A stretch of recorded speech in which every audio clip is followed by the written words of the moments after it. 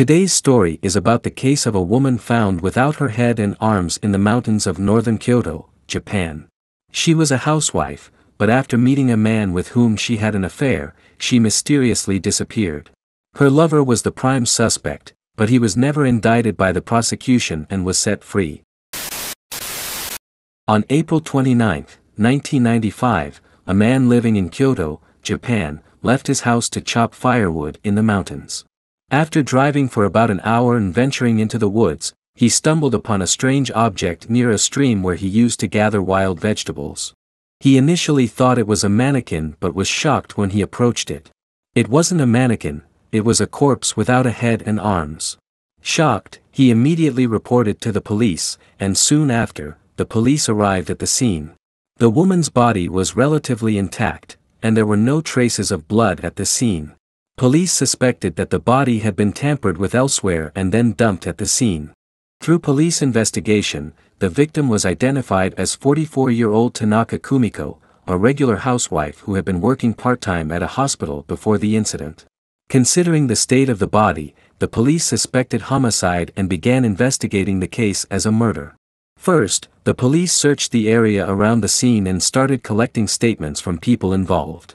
During this process, secrets about the victim that had been kept hidden were revealed.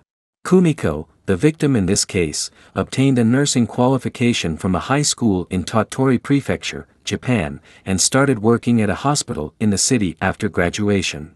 She met her husband at an adult ceremony, where he was working at a driving school at the time. They got married and lived in Hyogo Prefecture. Before the incident, Kumiko lived with her husband, two college-aged sons, a high school daughter, her in-laws, and her grandmother, totaling eight people. There was another close-knit family that Kumiko's family was close to, and a member of that family was the suspect in this case, 45-year-old Azumiya Hiroshi. Hiroshi worked as a truck driver and lived with his wife and three daughters. Kumiko's family and Hiroshi's family had been on good terms for a long time. However, this good relationship turned into an affair due to the misjudgment of both parties. They started having an affair behind their families' backs, which lasted for over 10 years until Kumiko's death. When the case was uncovered, the investigation headquarters considered the possibility that Kumiko left home due to an extramarital affair and proceeded with the investigation. According to the investigation, on the morning of April 26, at 9 o'clock, Kumiko met Hiroshi and they drove together to a love hotel. Unfortunately, this check-in at the hotel became her last known whereabouts.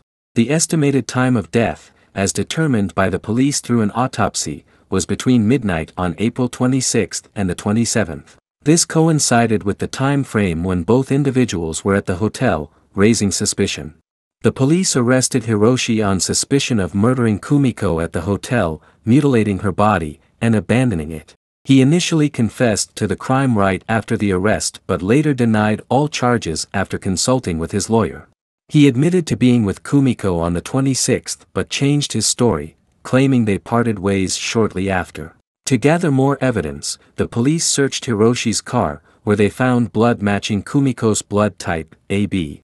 Although they couldn't conduct DNA analysis due to the blood being too old, matching Kumiko's blood type wasn't enough to prove guilt. However, it kept Hiroshi as a prime suspect. Another piece of evidence emerged when the police discovered Hiroshi had no alibi for the day of the incident. From the day Kumiko went missing on April 26 until her body was found on April 28, he didn't show up for work. These circumstances raised suspicion. With a growing conviction of his guilt, the police visited Hiroshi's house with his wife's consent and found burnt keychains and melted sunglasses near the house. Showing these items to Kumiko's mother, she confirmed they belonged to her daughter. However, the murder weapon, the most crucial evidence, was still missing, prompting further investigation. Even Kumiko's body was found decapitated and without arms, the police were convinced a weapon used in the crime must exist.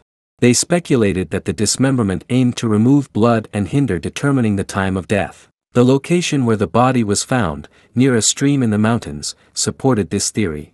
Hunters often let animal blood flow into streams to prevent rapid decomposition, making it challenging to estimate time of death, which is a critical tactic to obstruct investigations.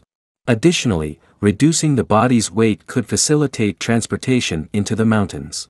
Taking into consideration the overall case, the police couldn't consider anyone other than Hiroshi as the perpetrator. However, without decisive evidence, they couldn't prosecute him. Hiroshi's lawyer consistently argued that he was wrongly accused. The period during which a suspect can be detained before a decision on prosecution is up to 23 days. If the police fail to find decisive evidence or obtain a confession within this period, they must release the suspect. After 23 days without substantial evidence or a confession, the police had to release Hiroshi. Despite continued investigation with hope, there was no progress. The Kyoto housewife dismemberment case, where Kumiko's head and arms were never found, remained unsolved. As the case faded from public memory, Hiroshi gained attention again due to another incident, the murder of his company's president. Eleven years after Kumiko's case, on March 17, 2006, the president of a concrete company in Hyogo Prefecture was found dead in a bamboo grove. The next day, March 18, Hiroshi, an executive at the company, was arrested on suspicion of murder. At the time of arrest, he was 55 years old. He staged the murder as a suicide after killing the company's president. A co-worker who first discovered the scene sensed something amiss and talked to Hiroshi nearby, where he confessed to the murder, leading to his arrest. He murdered the president to take over the company, planning to force the president to step down and take his place. Additionally, there were unclear funds in the company, and Hiroshi planned to take control of those funds. After his arrest, Hiroshi remained silent about the reasons for killing the president and started giving false statements. In March 2007, a local court in Kobe sentenced Hiroshi to 15 years in prison. Hiroshi did not receive any punishment for the Kumiko case and was only charged with the murder of the company president.